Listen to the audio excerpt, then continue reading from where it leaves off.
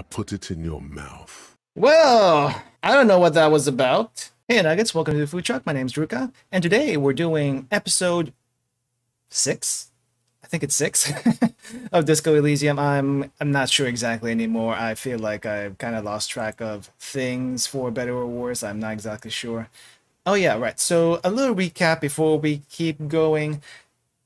Nothing much really happened last time, uh, all things considered. For the most part, I was look, going around town trying to ask people for money for the inn, for repairs. Um, failed miserably with all my rolls, or a lot of my rolls last time, so that went nowhere. Uh, but luckily enough for us, our best friend Kim, Kim yet again came through for us and produced some hubcaps that we could sell, uh, and get some money for the night. Uh, though, I, though I think now we have to like earn our own money for each night and i don't know how we're gonna make up that cash but we're gonna get there eventually. we're gonna get there eventually. and uh, i guess we did learn a little bit about ourselves uh, huge trauma from the past concerning exes which you know it clears up some things from the beginning beginning it clears up some things uh, from the beginning of the game and I find a little piece of yeah, it's uh, unfortunate, but we don't know the whole story just yet. So we'll probably get that eventually, just not today. However, it is a new day today, and I have no idea what I'm gonna do. I have a, I have a few leads that I haven't covered last time or followed up on last time because we were running out of daylight basically. So yeah, let's uh let's hope we get somewhere today. So let's get let's get on with it. Let's get on with it. All right. So right. I guess we just go outside. Check if uh Kim is up. Knock knock.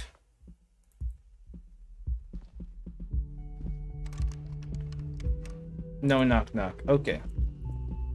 Uh where is Kim? The door is closed. Yeah, well, I don't think we need to bother the the neighbor lady in the hostel, so we're not gonna do that. I feel like we're gonna meet her again though. Oh, there they are. Looks like we got a lot of people to interview before we go do something today. All right, Kim, what's up? What's good? Morning.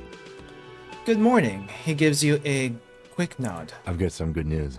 Ooh, what I is took care of the body. The thought of him decomposing in my MC wouldn't let me sleep. Good, thanks. I don't know if I, I was... I don't know if I was ready to let him go. Uh, good, thanks. I'm just glad he's gone. We have other matters to attend to. Quite a bit. Uh, what's on the agenda for today? Oh well, we'll get the armored boots in another lifetime. In another lifetime. The lieutenant is downplaying his contribution. He got up before sunrise to get this done, and now he's quite pleased with himself for taking care of the gruesome business so efficiently. The Union muscle finally turned up. As and it they look should. rowdy. We need to talk to them. Yeah, I saw them. I thought they were supposed to be here in the afternoon, not right now. Why do we need to talk to them? What do you mean, rowdy? Are these the men Garte told us about yesterday? Uh, what do you mean, rowdy? I mean ungovernable. Martinez isn't exactly enthusiastic about the RCM being here. They prefer to be policed by the Union.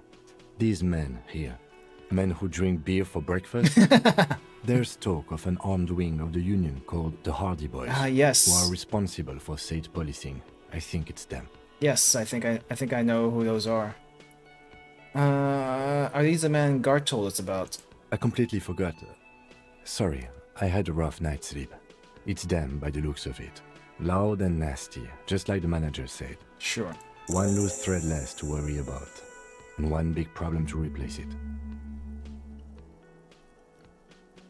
Mm, why do we need to talk to them? I, I think we already know, but let's just clarify really quick. Everything points to the dockworkers union. The belt used for hanging him, the circumstances in Martinez, my preliminary information, which may, of course, all be wrong. But we still need to talk to them, and it won't be easy. There's so many of them. Maybe we should call in reinforcements. That would just escalate tensions. No captain would sign off on it. Solving one murder isn't worth a conflict between the RCM and the Debarders Union. In fact, even the death of two detectives might not warrant an all-out war. So let's keep a cool head, okay? Oh, so you're saying we might die. Gotcha. He's not exaggerating about that mortal danger, just calmly factoring it in. Your fists clench and your pulse rises uncomfortably. All right, let's roll. One more thing before we do. Mm-hmm. We don't have to talk to them immediately. We can walk right past them, continue with our business. Okay. Yeah, streetwise. Zoom right past. Do it on your own terms. Why would we put it off? But aren't you curious to know what they have to say about the murder? They're in no hurry to leave. They think they own the place. Anyway, I leave that choice to you. Whatever you decide is fine by me. I guess we could leave them alone for now. Uh, we do have a lead in the apartments to check up on, and then maybe that'll help convince them to do certain things. We'll see. Nothing here. Oh yeah, we could check the... I wonder if the, um... The armor info is, is ready yet. Okay, so we have an extra point. However, I just found out last time that you can put points to unlock skill slots here. There are thought slots. So we are going to do that. We're going to open one up. Yes. And we need to internalize something. Uh, we have three options. However, one of them doesn't look like something we want to internalize. Embarrassment to the party. White Mourning. Goût de, de Million. Million? I know there's one that we don't want. I think it might be... It might be this one. This might be one we don't want to internalize. You see yourself abo uh, from above. You're passed out on blue tiles. Great White, the Valley. I forgot a name. The feeling animates him. Commodore Red puts on disco clothes and gets smaller and smaller. We might do this later, but right now I don't think it's a priority. I want to do the rigorous self-critique first. Something about copotype? This one might be good too, uh, though let's start with this. Internalize self-critique. And then eventually we'll do the Guillaume de Million, and maybe White Mourning. I'm a little iffy about this one, because it seems like it might negatively affect us. Let's see. Evrart isn't paying me enough for this. Who art thou? Let me handle this. The woman says to the crowd in the mess hall before turning to you. Detective disorientated. Are you still wondering where you are? This is Martinez in case you've forgotten. I advise you not to overstay your welcome. Wait, aren't you the gardener? She seems very hostile today. What's what happened? Her entire character has shifted. This young woman is cold as ice. You're the gardener. No, I am not a gardener. I'm a legal counselor for the Dock Workers Union. Oh. So let's get to it. You're looking for Titus Hardy? You think he has information that will help you? Maybe he does. The man on her right. There's no one to her right, though I think it's one of these guys for sure. That's Titus. Talk to him. But know this. I'll be keeping an eye on you. No strong arming. Nothing official. The District of Martinez does not recognize your authority to make arrests. It doesn't matter if you recognize our authority. We will make an arrest if we have to. Wow, Kim, okay. That's good. She says nothing. Her glare speaks for her. Could this be the Miss Beaufort that Easy Leo mentioned? The one Mr. Evrart sent to law school? What's your role in all this? Are you Lizzie, Elizabeth, Miss Buford? What if I want to talk to you, not Titus? What are you going to do to me? Why are you so aggressive? I think let's uh, start from the top. I'm kind of curious. What's your role in all this? Like I already told you, I'm a legal counselor.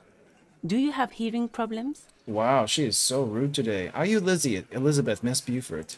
I suggest not wasting time on trivial pleasantries and focusing on why you are actually here. Titus Hardy. Even though she has excellent control over herself, something moved behind her eyes. In the way she stands. In her face. Ah, easy. Leo told me about you. He liked to talk a lot. Uh, let's not rat out on Leo. I like the guy. And it's best that uh, we don't rat him out. He could get in trouble. Hardy, not yet. I had another question. No. Talk to Titus. What if I want to talk to you, not Titus? What you want is of no significance, officer. Don't test your authority. In Martinez, you are no one. What are you going to do to me? Hmm. The lieutenant is not satisfied with the approach. What are we going to do to you? wow. What happened to you? The Union isn't going to do anything to you. It is not a crime syndicate. It is a labor organization. You, they are gonna do something to me, though. Uh-huh. Goddamn right it is. If anything, it is the RCM who do things to people but we digress. Why so aggressive? Aggressive? You make your living enforcing violence. These people are just dock workers. Hmm. So you were spying on us, and now you represent murder suspects. Just dock workers. Yeah, that sounds a little bit. Listen, you Moralintern lackeys. You're a mob, enforcing the unlawful privatization of Revachol. 20 fat men in the Occident are stealing it all, and you're their bodyguards. Yeah, I don't know anything about this. Fuck yeah. The tall, broad shouldered man takes a sip of his beer. So ask what you came to ask, or get back to your commanders. The world needs a financial buffer zone, no need to get emotional. Privatization is not unlawful, it's cool and funny. Maybe you're just not historic individuals. Uh, I don't know where you heard that, but it's wrong. The RCM is principled and strong, unlike you socialists. I like that. Good start. Let's take it a step further. Armed uprising. What are the union's plans? Let's do that. Uh, let's ask those questions. I don't want to antagonize her, at least not yet. There's nothing... I have nothing against her, but holy crap, her tune is... Her tune is pretty aggressive. Let's. Alright, let's talk to Titus, but not yet. Let's talk to this lady first. Just a moment. Uh, the old woman turns back to the cafeteria manager. She's agitated, judging from the way she keeps pulling at the frayed edge of her blanket. And there's no public phones nearby? There is not. The closest phone booth is down the coast. Sorry for the inconvenience, ma'am. The cafeteria manager appears generally apologetic. It's fine, I understand. Thank you anyway. I'm glad to see you again, dear. Good day, ma'am. Everything all right? Please don't trouble yourself about me, sweetie. I was just hoping to make a call, but the Whirling's phone line isn't working. Well, maybe we can help you with that. The union office probably has a phone, but I can't really get there. Or to the phone booth down the coast. And Gary's phone is dead too. Uh. Well, I know what's wrong with the phone line. The copper wires are gone. Why did you need to use the phone anyway? To let the young woman who's house sitting for us know that we may be delayed. Morel, my husband, and our friend Gary were supposed to get back by Monday night, but they're still missing, and I haven't heard from them. Oh, that's not good. I was also hoping she'd heard from Morel. She looks down. A little missing persons puzzle might just be the thing to take your mind off the hangover. Okay, I'll bite. Has your husband gone missing before? This sounds more like a side thing. I need to take care of my main thing, then I'll get back to this. Uh, has your husband gone missing before? That's just it. This isn't like him at all. He always plans his expeditions so carefully. A cold breeze hisses through dense thickets of reeds. Something sweet in it, somnolent. A damp chill goes down your spine. When you look around, you're still in the whirling in rags. But you have more important things to worry about. Yeah, she glances out the window towards the bay. Uh, let's see, what is this expedition your husband was on? So your husband is some kind of scientist? Tell me more about Morel, looks, character, your relationship. I kind of want to help her out, and we should probably keep an eye out for this guy anyway, so let's uh, start from the top. What is your, what is this expedition your husband was on? Just some field work, sweetie. Morel is a highly trained scientist. He and his assistant Gary are studying an extremely rare species of insect. But they should have returned by now. They were just going down the coast across the water lock to set a few traps. He said they'd be back on Monday. What could be keeping them? Well, at the very least, I do know that the water lock is broken, so there's that. Uh, I did hear of a cult across the the bridge, so they might have gotten caught up in that too. The water lock, that was broken. Could this be it? Wait, who's this Gary person? Do you trust him? Oh, sweetie, it's nothing like that. She smiles. Gary's as loyal as they come. I trust him with my husband's life any day. The water lock to the other side of the coast is broken. They're probably just stuck over there. Oh my. What happened to the water lock? Ah, I really don't know. Well, whatever the cause, I'm thankful. To both of you. You've spared me another sleepless night. She turns to the lieutenant. Okay. You're welcome, ma'am.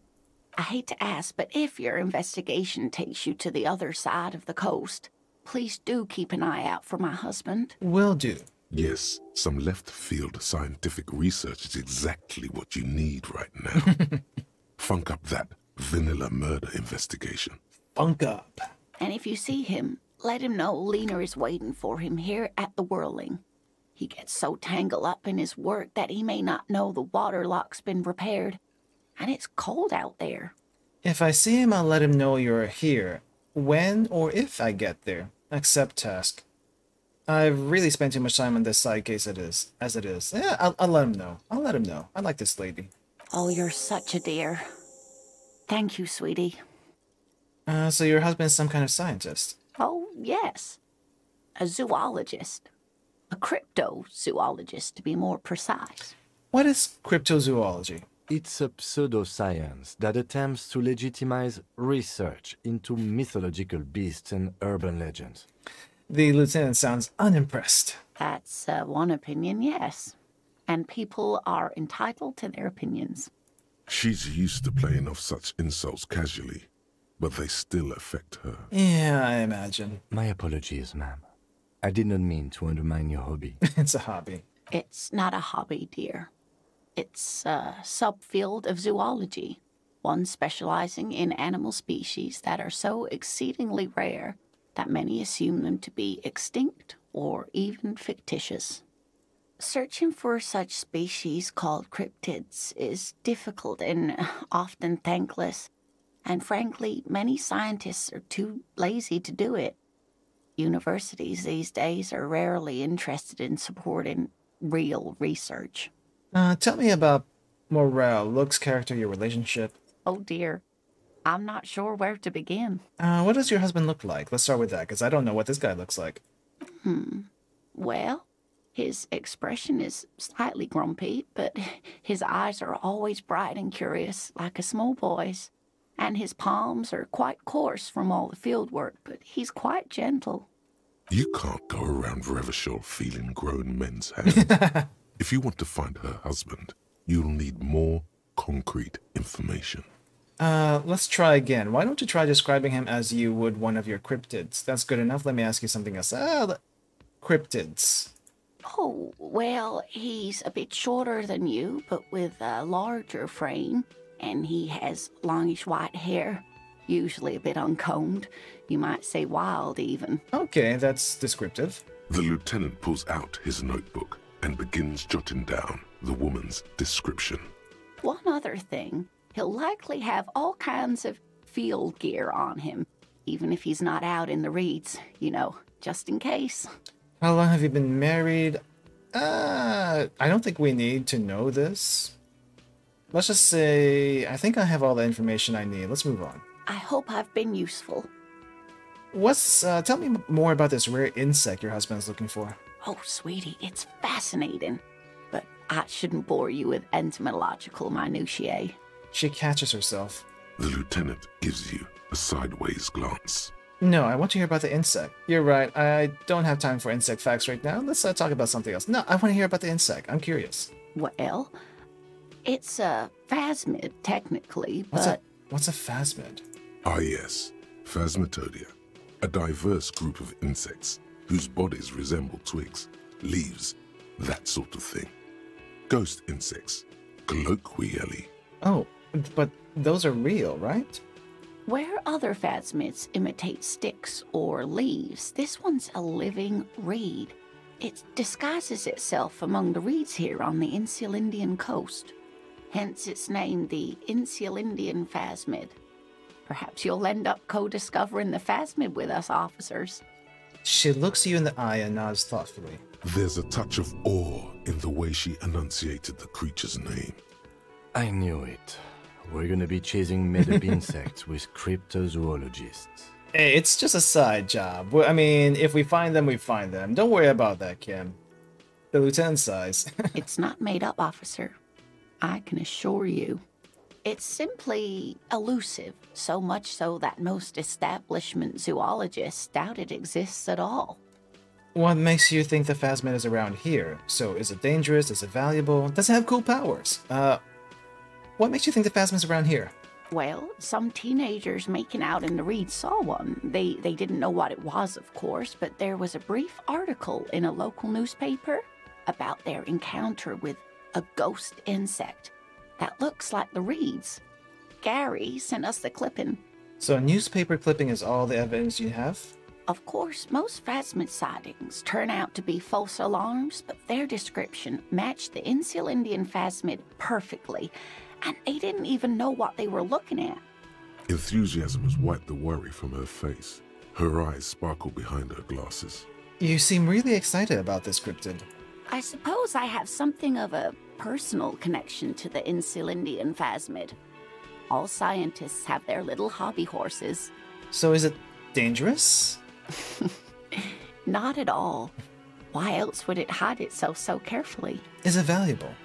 Oh, I doubt it. No one gets into cryptozoology for the money, sweetie. So, does it have cool powers? Just curious. Yes, it can blend in almost perfectly among the reeds. It's how it stayed hidden all these years, centuries even. You know, I mean, this is kind of like that. Um, ah, jeez, what's that name of that fish? What's the name of that fish where it's like from the dinosaurs or something, and they thought it was extinct, but apparently it's now. I mean, it, there is a small colony somewhere in uh, Africa that exists, and it's only there, but it exists nonetheless. What was it? Coelacanth. I, that's what it was. Coelacanth. They exist still, which is amazing. And people thought they it died out millions of years ago or something. Okay, what's so special about this stick bug then? Oh dear. I'm afraid I'm not explaining this very well. It is very special. The woman's face flushes with embarrassment. Morel can explain it all much better. I wish you could hear him describe it. Then you'd understand, I'm sure. Less worried about husband, uh, maybe you should convince her to tell you about some cool cryptids. Uh, that's it for now, ma'am. I mean, I would like to hear about it. Sure, why not? Let's let's give it a shot. You're an enthusiastic idiot, but you're still an idiot. I want to know everything about cryptids, living cryptids, ex- extinct cryptids, marine cryptids, land cryptids. Bring it on. We don't have time for Cryptozoology 101. Let's get back to work, shall we? Ah, sorry about that, Cam. I got distracted. That's that's off for it. No, ma'am, thank you. Wow, so someone's been a little boring? No, I'm not. Get get out of here. What? What? Yes, my standard liege. Someone's seen all sorts of wild ideas pop off and thought, I'll take the boring one. The regular, please. The brown. I like brown. I like standards. Look, I'm just trying to do my job. No need for extravagance. What is this? Picking on me for not being crazy enough? That's the least of my concerns. Kim, am I boring? Kim, am I boring? you? I wouldn't worry about that. okay. See? You're so regular and vinyl brown, he doesn't even want to talk to you about it. What is this? Picking on me for not being crazy enough? That's the least of my concerns. No need to be defensive. The regularity, the brownness, the cut and dry have their appeal. A very standard appeal. Drama. Why are you picking a fight with me? Look, I'm just trying to do my job. No need for extravagance. Of course you do. Let's get right to it. My ah. lord's copotype is regular cop. I'll let everyone know. I'll send out a telefax. Wait, wait, wait. This will be my copotype now? Why not? Send out the telefax then? I'm not ashamed. Yeah, no need. Let's keep that announcement on standby for now. Uh, wait, this will this will be my copotype now? Yes, the type of cop you are, sire. Think of it as a caste, a class even, a nation of regular law officials that you belong to. It comes, of course, with the usual benefits. So we're gonna be a sorry cop and a regular cop. And nah, no need. Let's keep the announcement on standby for now. Good, good. Of course. To outright declare yourself something does seem a bit too interesting now, doesn't it? I won't trouble you any further. Jeez, my my brain is making fun of me. Can I help you? My bill for tonight? Okay, nothing. Alright. Uh, wait. Is why is there like a thing in the kitchen? Tomatoes are so thinly sliced you can see through them. Amazing. Can I do anything about this door? You see a heavy steel door with a prom. Nope, not yet. How about you? Got anything? The man ponders his cooking utensils and gives you a little nod, acknowledging your presence. Do you know what's behind that door?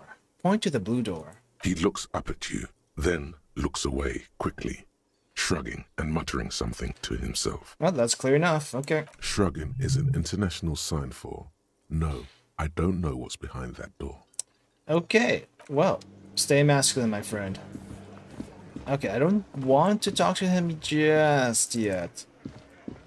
We may have something else. Anything else here? Nope. I mean, yeah, he's probably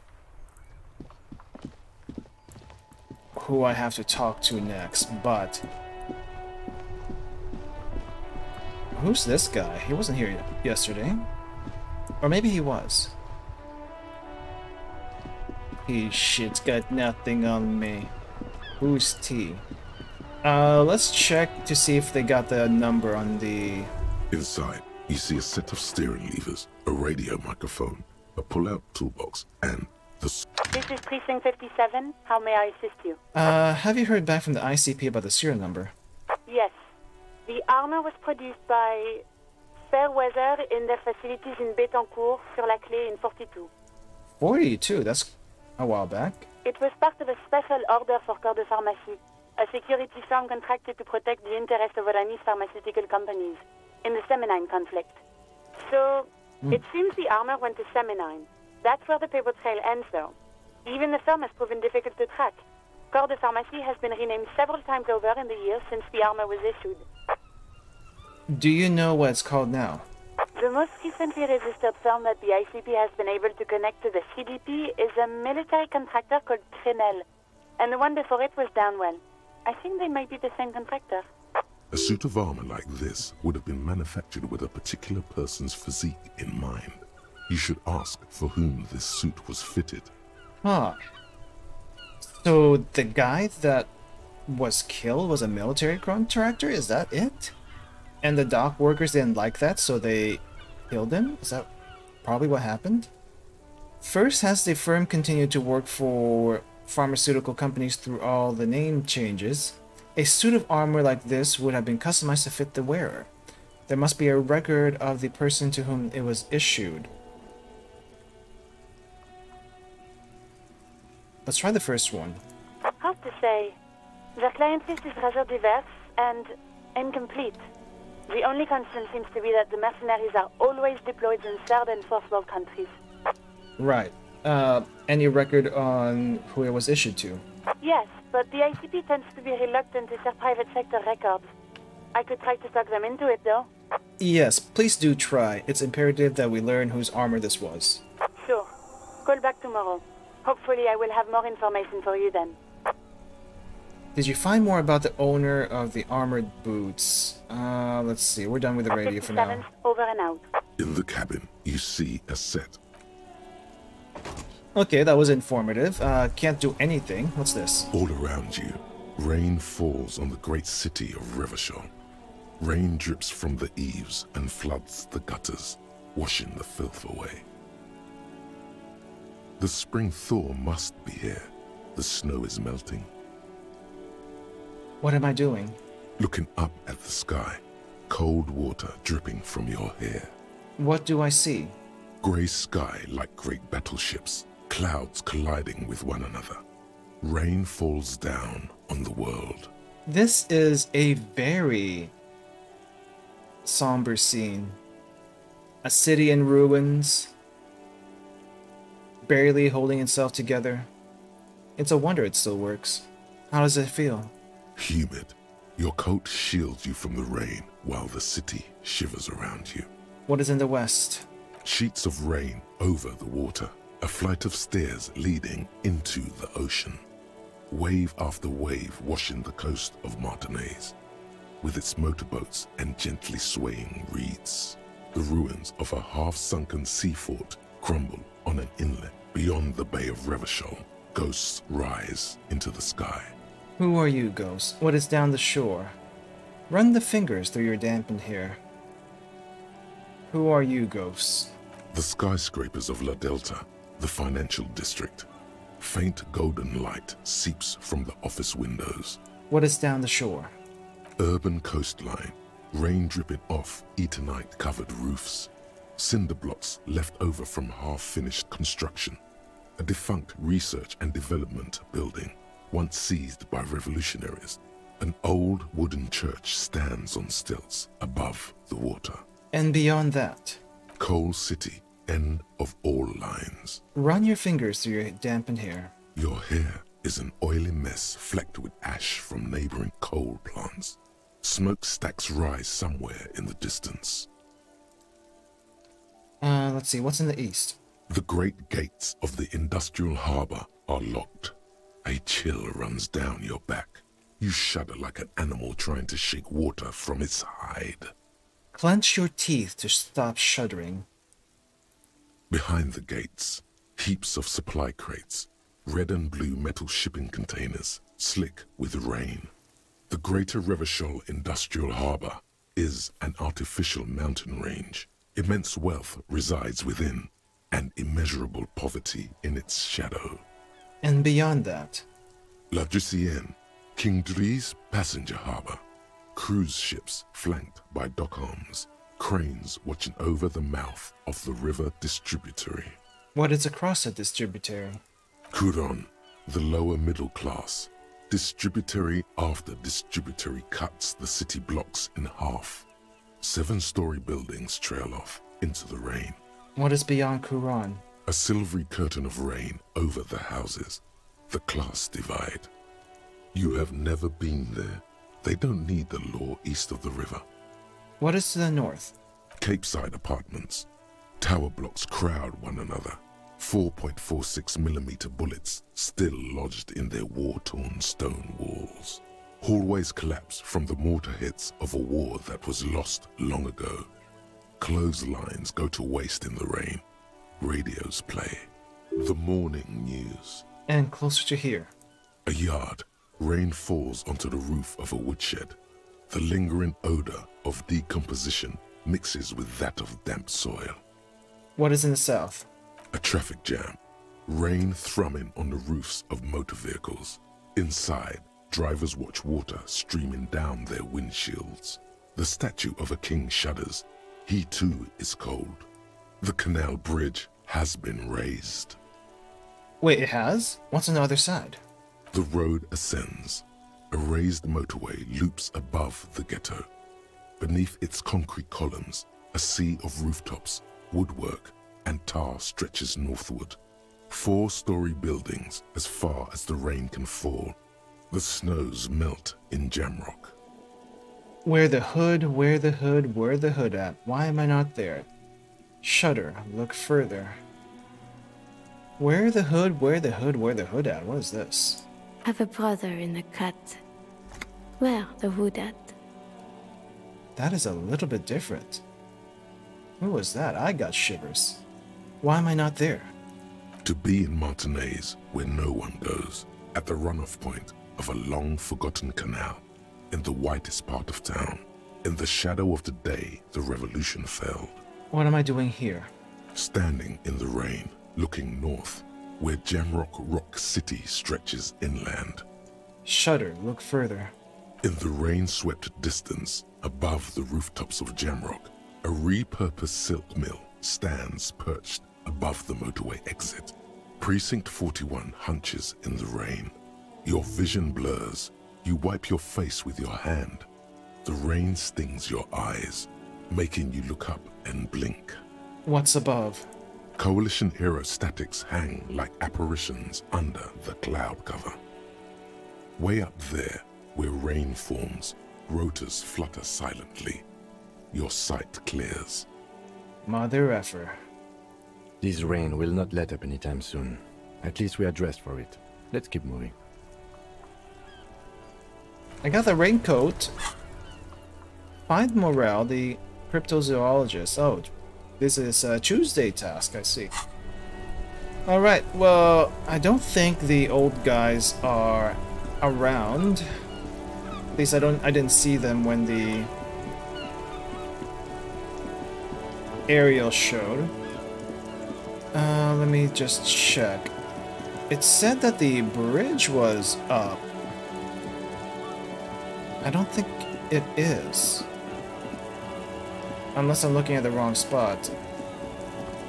Yeah, there's nothing here. Okay, so let's go behind the...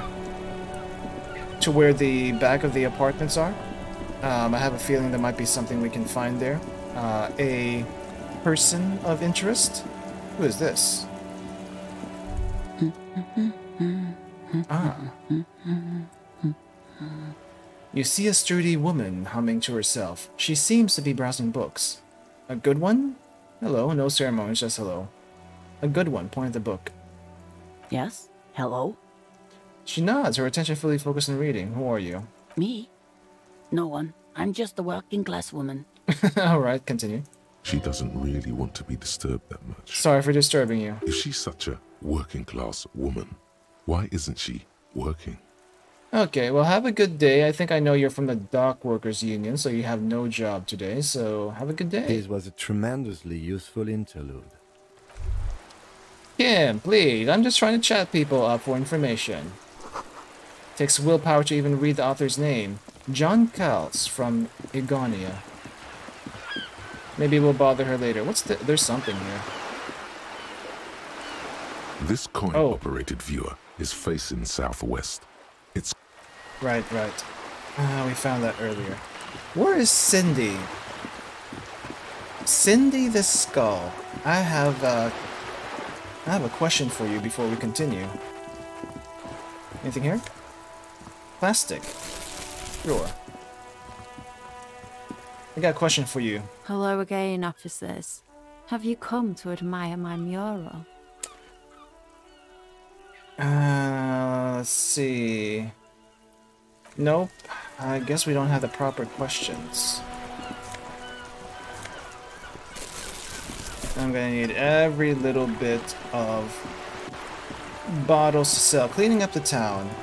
Joyce, I would like to ask you about the reality, but I don't think I have anything yet. Let's see if we can um, investigate the back first. There might be something here.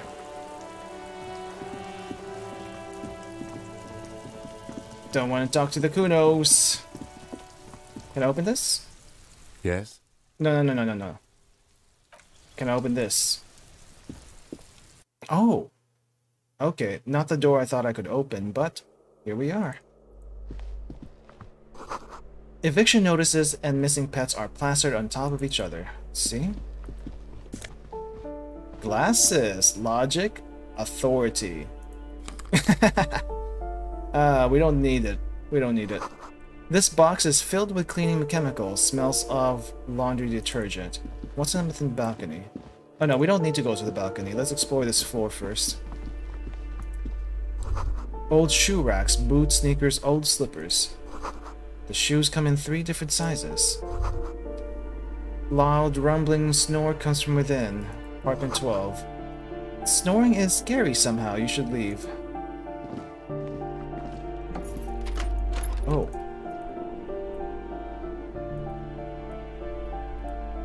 Kim just slowly walked. I need a flashlight. What's here? Moss crawls crawls on those bathroom tiles. Actual moth. Yeah. Moss. Moss. These shower curtains are covered in some sort of slime. Disgusting. Magnesium and Commodore Red. Commodore Red. Oh my gosh. Commodore Red. Physique? Let's see, physique, morale, minus one. oh my gosh. Where? Oh, physique is uh, my HP, right? Unless that's a different stat. Yeah. Wait, hold on. What what happens if I equip the Commodore Red? I look like a hobo for one. So this increases, and this uh, increases everything also. I guess that's a good thing, or a bad thing? I, I can't exactly tell.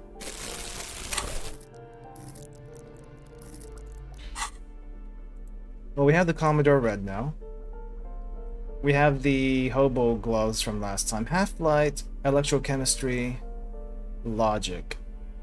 With the flip-up aviator glasses. I just want to see what it looks like on him. Cool. Can't really get a good look, but awesome. Uh, plus one logic, minus one authority. That's kind of weird. And we have zero authority now, so... Um, one authority. All right. Um, I have a minus one authority from my th thoughts, right? Oh, what's this? Let's pick this up. Money! I'm gonna need 10 more of that today. Let's check around here. Oh, shoes. Steel shoes?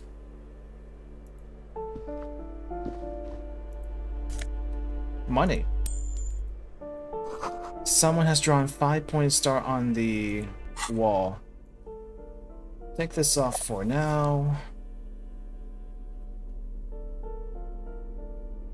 Let's have the crowbar just in case something looks like we can open. Oh, five real. Okay, we're taking this. That's a lot of. You hear someone money. walking around inside, rearranging the furniture. The number on the panel says 10. Yeah, we don't want to talk to these people yet. Don't need to bother people, we just need to know what's going on. Postcard, Boogie Street 46. Oh my. Door 9 is locked. Okay. Apartment 8, their mailbox is overflowing. Graffito says a firing squad for the rich. Lady, can I talk? Give me a moment. The, an elderly woman is leaning on her broom, her knuckles as white as bone. She seems to be having difficulty breathing. Oh, you're the one who shooed me off yesterday. The cold never does any good for my bronchitis. She sneezes into a dirty handkerchief. Are you alright? Should I call a doctor? This won't take long. I only have a few questions. Uh, should I call a doctor? I'm fine. Fine. Don't you worry about me. She starts coughing red spots appearing on her cheeks. Okay, so she is pushing people away too. I see. Now, what do you want from me, policeman? She's the cleaning lady. She knows the floor plan and the residence. I'm looking for a young male in his mid 20s, dark hair, skinny build, a smoker on the balcony. Who are you? I have a few questions about those apartments. Uh, I'm not really looking for anyone else. Let's go with the guy we talked to. Yes, yes. I know who you mean. The scrawny boy who's always smoking like the devil, right? She looks at the other end of the hallway. Somewhere in the building, a child starts crying. You hear a radio tuned to a talk show and someone taking a shower. What's he in trouble for? No trouble, I just want to talk to him. Do you know where he lives? He's wanted for murder, he's going away for life. Nah, nah, nah. I just I just want to talk to him. Do you know where he lives? Talk?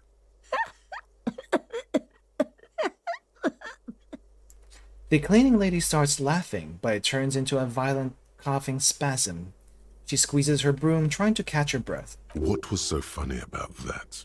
He lives upstairs in room 28. Ah. Go to the balcony. It's one of those doors there. He's usually home in the evening. Gotcha. Thank you. We should go check out his apartment on the balcony. See if he's home. Alright, thanks. I'm off. We're really not interested in the lady herself, so we were not going to bother. Uh, let's see. Foreclosed by Martinez Realty Associates. Oh wow, it was dark here and now it's not. A shift in temperature. The air chills around you. Dust settles on the stony floor. Rub your sides for warmth. A former architect stands before a slice of window, a room plan in her hand. A cold wave has made the air in the building stand still and frozen, with temperatures falling down to minus 20 degrees Celsius. That's freezing, almost freezing. Her face, the plan, look around yourself. Her face. Is red from the cold. She's breathing on her fingers, clasping the plan. Traces of sadness are visible in her expression. The plan. Faint pencil lines on paper depict the same place, but a missing eastern wall connects the room with the neighboring apartment. Ideas for arranging the furniture have been jotted down. Look around yourself. It's clean and empty, with new tapestry embellishing the walls. A standard HB graphite pencil has fallen off a three-legged stool in the middle of the room. She had an eye for beauty. Finish. It is cold. The sea below looks cold and winter gray. Anything in this uh, cupboard? Money, perhaps? Or medicine? 16 days of coldest April. What is this? Okay, so this is a um, postcard. What is this book? The cover features a row of concrete buildings with a monochrome rainbow in the sky. It tells a rather excruciating story about two lovers during a period of ethnic unrest in Yugograd. The book has been filed under psychological realism. Alright, we're not gonna read that right now, uh, curious as I am. Someone has torn down the wall. Anything here?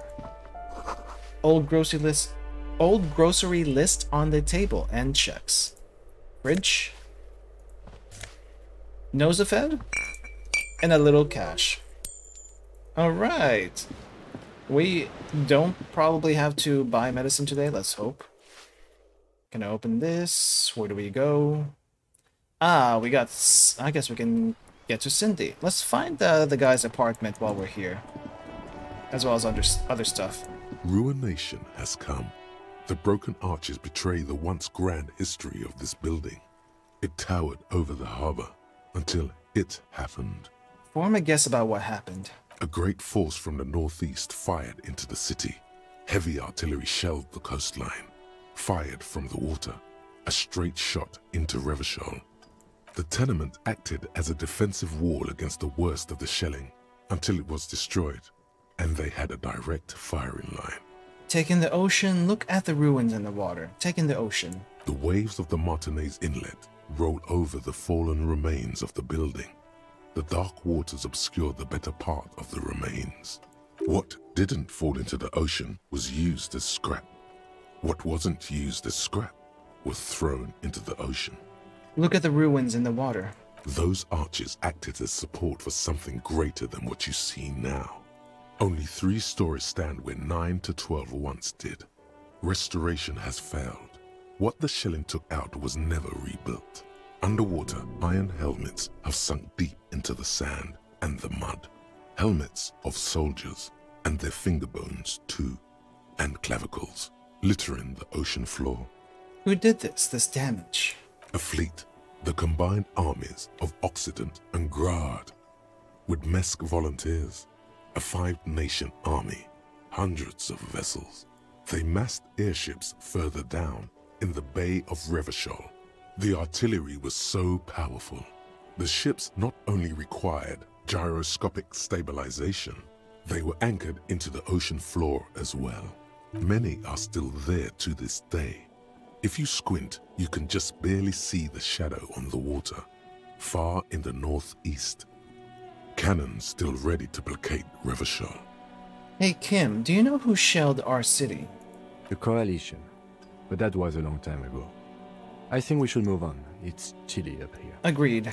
He fears the discussion might lead to disagreements, as it often does. No, I'm not. I don't care about that. Just taking my thoughts in. More bottles. There she is. We're up here now. Oh, the piggies have learned how to saunter up staircases. I didn't think you could do that with hooves. But here you are. That's right, we're Evolve. You're in trouble now, little lady. We cops don't like closed doors or unreachable perches or people having high ground on us. Ah, that's right, we've evolved. Yeah, I can see that. Cool mutations. She crosses her arms. That smell coming from her paint bucket. It's not paint. It's heavy fuel oil. Is that heavy fuel? Oil? Red dyed heavy fuel oil intended for exclusive use in government vehicles, to be precise. He says studying the contents of Cindy's bucket. What did you think I was using? Aquarels? Sucked it out of a cop's fuel tank myself. Back in Jamrock. Wait, my car? Fumes are fumes are bad for you, okay? You better hand it over. That's some clever cultural commentary. That's some clever cultural commentary. You ain't seen nothing yet, Piggy Boo. All right. Anything else? Hello again, officers. Have What's this door?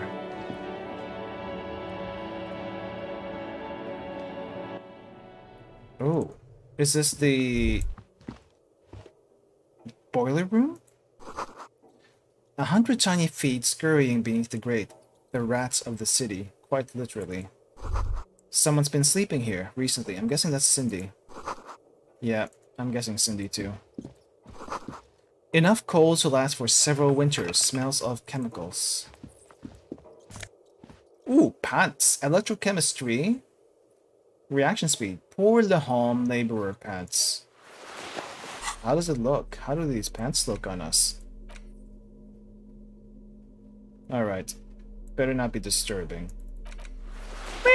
That's not bad. Savoir-faire minus 1, electrochemistry plus 1. This one's electrochemistry plus 1, minus 1 reaction speed. And my reaction speed is pretty average. I don't think I want it lower than it already is, so let's not. Okay, that's our money for tonight. We got money. We got cash money for the room tonight. Problem solved. I just probably took Cindy's money, and you know what? It doesn't matter. I will take it. And this money too. The door is locked, you can't get in. The chair's new, someone lives back here. can I... Can I use wire cutters on, on this door? No, I cannot. Alright. I guess I'm gonna go ahead and keep the crowbar equipped for now. Okay, so this is not the way we're supposed to be going. This goes to Cindy. Oh, what's here? Exit, it says. Okay, and now we have a a way to go up and down. So let's not bother these people. That isn't just a five-pointed star. It's an inverted white pentagram cradled in a wreath of antlers. The iconography of communism, in other words. Look out, Kim. There are communists here. Inspect the symbol closer. The star and antlers was developed in the sixth decade of the last century and quickly adopted by Mazov and the communards during the revolution. Even today, half a century after, the star and antlers retains the ability to evoke hope, disappointment, and fear in equal measure. Why is the star upside down? Why white? What does it evoke in me? Why is it upside down? To symbolize the toppling of the old order. I see. Also, some social democrats were already using it. Why white? Because white is the color of peace. What does it evoke in me? Nothing at all yet. Right now, it's just meaningless shapes on a wall. Fair enough. I was just curious. As always. Let's check in the balcony. I, I want to see where um, this guy lives. 28. More money. Not as much as before. Curtain shifted just a little. Someone's watching from within. Breaker box is full of cigarettes, cigarette butts, and electric wires. It's a guy. Oh, what's this? Money. Just a door, nothing for you here right now. Okay, if you say so, game. You say so. Someone's growing rosemary, thyme, and uh, a cactus. Interesting. This door is made of metal and appears to be reinforced. Someone here really values their security. I see why. Number 28. This is where the cleaning lady said the smoker on the balcony lives. Let's see if anyone's home. Knock on the door. Knock, knock. No one answers. Looks like the young man we are looking for isn't home. I think our best chance to catch him is in the evening. He looks around, taking in the cold spring air. We should return tonight after we have finished with our day's work. How about 9 p.m.? Sound good? Uh, sounds good. Tonight, 9 p.m. Tonight at 9 p.m., right here, apartment number 28. Good, let's go. Let's go. Let's check this. 29. Complete silence. They're not home. Number 30. Voices from within sing alone, singing along to some buoyant uh, dance track. Buoyant dance track. Alright, I guess our business here is done. We'll come back later.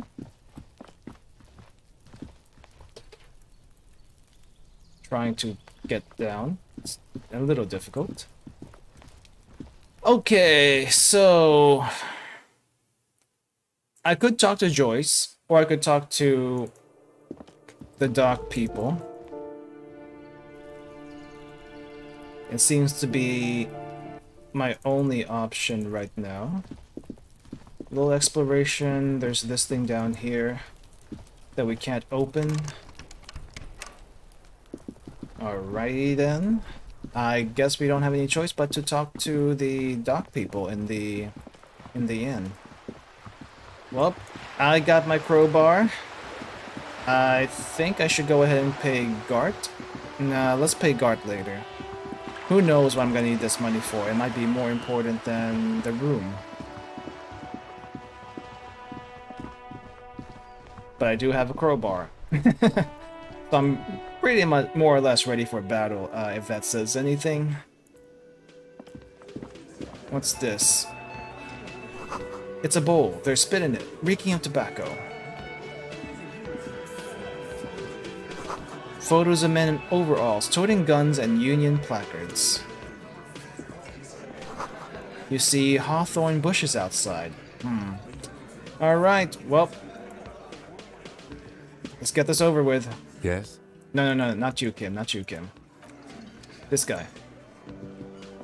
This is where you say your bed. A broad-shouldered man points at you with a beer can. Detective. The lieutenant acknowledges you with a sharp note. He's leaving it to you. Don't say anything yet. First, we need to talk about your attitude. We need to talk about the man hanging at the back. Don't say anything yet. Hey, hey, dipshit. You hard of hearing or something? The boss man's talking to you. Then wasn't talking to you, Glenn? Do not let their squeals disturb your serenity. These are but simple peasants, sire. the chatter is too inane to reach your ears. Raise your chin and gaze into the distance like a prince. We need to talk about the hangman in the back. First, we need to talk about your attitude. I don't really care about his attitude. We just need... We just need some information, but a little posturing might not hurt, don't you think? Let's try it. What, is he fucking kidding? This guy high or something? The little guy looks at his mates in disbelief. Uh, none of your business, Shanky. Hey, asshole, up here. We're talking to you. We're looking for Titus Hardy. The lieutenant turns to the broad-shouldered man at the end of the table. All right. Well, we need to talk about the hang man hanged out. We need to talk about the man hanged out back. Oh, this is about him. A real looker, that one. What is that tone? You sure took your time, huh? Waited for him to get real ripe and pretty for you. He looks to Titus for approval. Oh, he was a real pretty boy. Hanging up there, letting out that pretty boy smell. I can't for the life of me understand why you did it. I mean, I would have just left him up there. You must really like cleaning up other people's shit. He spreads his arms. You might want to start asking your questions now. It's not going to get better than this. Scan the room. No, no, no. I's here. You got business with my boys. You got business with me. He understood what you were doing, taking inventory of them. Hmm. There are one, two, three, four, five, six. Six versus two, not seven versus two. Not a good, not good odds. Yeah, you fuck with the Hardy boys. You fuck with Titus Hardy. Shouts the scrawny face rat face man. Scrawny rat face man with two teeth missing in the front. Unlike a rat. Relax, Dennis. No one is fucking you yet. Says the 40 something man from the corner, with a plectrum hand hanging from his head. Uh, plectrum hanging from his neck. What is a plectrum? Yeah, Dennis, calm down. No one's fucking you, you stupid fuck. A blonde man in his 30s agrees. Let Dennis enjoy his fucking, man. We don't mind. You notice gang tattoos. The man must be either Mesque or Mas uh, Sarah Mizian. Sarah Mirizian. Sarah Mirizian. Okay, that's a little bit difficult to say. Yeah, you're not even being fucked, Dennis. The fat guy in the middle lets out a single chuckle. Fat Angus. Easy, fellas. We got company. Let's see what brings the cop around. Titus puts an end to it. Too late. You already scanned the room. You got a pretty good picture. A picture of what? Of the actor's here. You could take another look at the tracks in the mud on the crime scene. Compare it to these guys. I'm gonna take off for now. Be right back. That is a that's a good call their perception. Let's um I didn't think about that. I failed a check there last time. It might be a good time to try checking again. And Cuno's still here. Of course, he's got nothing else to do now. There are several footprints in the mud, left by work boots. Anywhere from 6 to 12 pairs have walked here. Okay, let's try it again. We Our visual calculus is pretty darn high. pretty darn high. Counted the Hardy Boys. Eight pairs Nice. of boots have shuffled back and forth in the mud. Where else have we seen a gang of men in work boots? That's right, the Hardy Boys in the mess hall of Whirling in Rags. Eight pairs of boots. There's seven of them, though. What was the eighth one? Go over them one by one. 1. Standard work boot. Steel reinforced toes. Number 46. Just like Titus was wearing in his booth. This is the big dick. Titus Hardy. The one with the ball cap on his head. Interesting. Is it? They didn't even bother to change boots. Putting them on the scene is easy. Maybe even too easy. Yeah, that's why it's interesting. Continue counting. 2. Standard work boot. Steel reinforced toes. Number 44. Either the blonde muscular guy, Glenn, or the young guy with a plectrum around his neck. 3. Hobnailed work boot. Steel reinforced toes. Number 43. The inked banger, perhaps. Perhaps. 4. Standard work boot. Number 45 or 46. Theo, the old smoker. You think you even see a tiny fleck of cigarette ash inside the print. So they're probably behind this. What else? 5. Another standard work boot. Reinforced toes. Number 44. Same as before. Either the musician, Eugene, or the muscle bound blonde, Glenn. 6. Light as air. Same make of boot. But number 41. Small like a rat. Shanky. I should have gotten this earlier. This is so true. I should have gotten this earlier. Better late than never, detective. The whole world is dark and the tracks burn in it with strange beauty. Count the rest. 7. The glowing outline of a standard work boot. Number 46.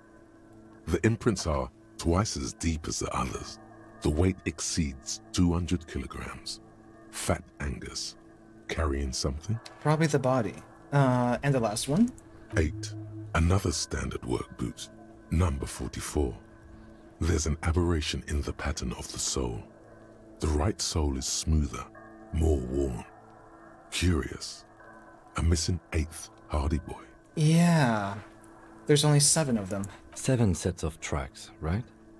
The Hardy Boys were here. Eight, actually. That's so? Interesting. Then one of them seems to be missing. Anything else out of the ordinary? Quite a bit. Note to self. This would be a good question to ask Titus. Where's the eighth man? Light step, 41 shoe. Heavy one, 200 kilogram imprint. Uh, aberration. One sole is smoother than the other. How old do you think these tracks are? Let's um, let's start with number three and then go from the top if we have those, that option. Interesting. Let's name it the Old Soul. I wouldn't be surprised if this was the missing Hardy boy. Wonder who he is. Do you have any ideas, Lieutenant? Someone operating a workbench with a pedal? Like a joiner at the harbor? Or maybe a drummer? A drummer. That's stupid. So one of the people we are looking for is a drummer. No, it's not. Forget I said it. We are not looking for a drummer. Or okay, I don't understand drummer. Perhaps it could be a driver. A driver would wear out the right shoe before the left. The accelerator is on the right. Nod thoughtfully. I was actually thinking the same exact thing. Interesting. If only I had come up with that idea. Hmm. I was actually thinking the exact same thing. I was not, so I'm just gonna nod. We should keep our eyes open around the traffic jam. See whether anyone strikes out as a potential suspect. Seems prudent, no? Yes, prudent. I'm not sure. We don't want to attract too much attention. Ah. I don't. Not. Hmm. We're already attracting attention by just being here, so I guess it, that's a moot point. Yes, prudent. Mm-hmm. Light step, 41 shoe. I'm guessing that's the skinny Hardy boy. The one with his front teeth missing. Yes. I could still be wrong, but I'm probably not. Uh, heavy, the heavy one, 200 kilogram imprint. 200? This could be the combined weight of two people, one carrying the other who's tied up. Let's say a heavily built worker carrying a similarly built armored man. Maybe it was a fat Hardy boy, the one sitting in the middle. Yeah, possibly. He might be right. 200 kilograms of living weight is unlikely. You're right. You're right. The fat guy from the booth was carrying the victim. Maybe it was a giant. It could have been one extremely obese person. it could be one extremely obese person. Yeah, it could be. The fat guy from the mess hall isn't that obese. He's more like a farm boy. Definitely not 250 kilograms on his own. You have to admit, he's the best fit we've got. Yeah, you're right. It's probably the fat guy. Probably yes. This would also fit with the victim being dead from a previous gunshot wound. They had to carry him, because he could no longer walk. Is there anything else that's noteworthy here? Uh, let's see. How old do you think these tracks are? A week, maybe? Seven days would fit the time frame provided to us by the caller, who reported the hanging. It is not impossible. How do you know? I pulled last week's forecast for coastal Revachol. Seven days below freezing.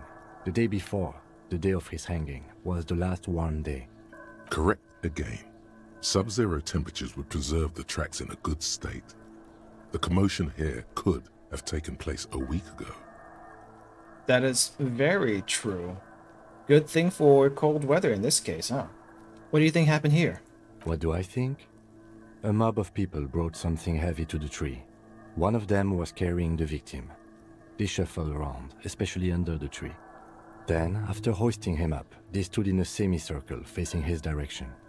At first glance, this appears to be a lynching. Indeed. They all stood in a row here and looked at the tree. But we know the victim had a bullet in his head. A more precise way to put it is it was made to look like a lynching. We've been purposefully misled. That is tracks? Yes. Okay, we've been through all of it. Good. And we got a skill point. So we're gonna add another thought. I think I want this um, Guillaume de Million. My authority is low enough, and we could possibly use whatever this gives us. Hopefully it's uh, something good. My logic will go down though, so... What's my logic right now? Four? Where's my glasses? Where's my glasses? Minus one to drama. I think four is a pretty decent visual calculus. Where's my logic? Just the cool glasses gives logic? Eh, man. There's a, this is a bad time to be internalizing thoughts, huh? Oh well. I got my information. So let's go ahead and uh, see if we can corner these guys. They'll probably say they know nothing about it, but we saw your boots. We saw your boots. Looks like the circus left town, but the clowns are still here. Titus does not look particularly happy to see you. Ah, let's see. The hangman... The man hanged in the backyard, did you do it? I found eight sets of footprints, but there's only seven of you. Where's the eighth Hardy boy? Let's start from the top. The pretty boy. You guys really love talking about that pretty boy. Funny. But my partner and I have a serious matter to discuss with you. Why is there a container belt around the dead man's neck? Why are your boot prints all over the scene? I have spoken to the dead man in a bizarre occult vision. You're involved somehow. I just don't have proof yet. No, let's not let them know about that. Ah, why is there a container belt around the dead man's neck? Let's start with that. Container belt? Like we use in the harbor? Yes, why? Because we took it from the harbor where we work. Then we went out back and used it to hang him. Okay! You're not even hiding that you were involved with that.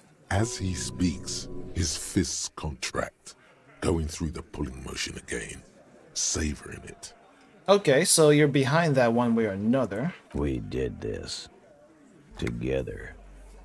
All of us. Until he was dead. That's why there's a container belt around his neck.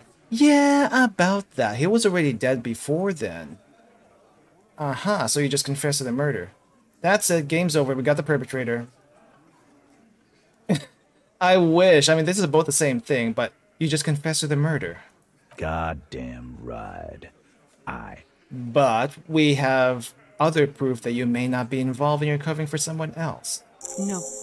These seven honest men have equally come forth.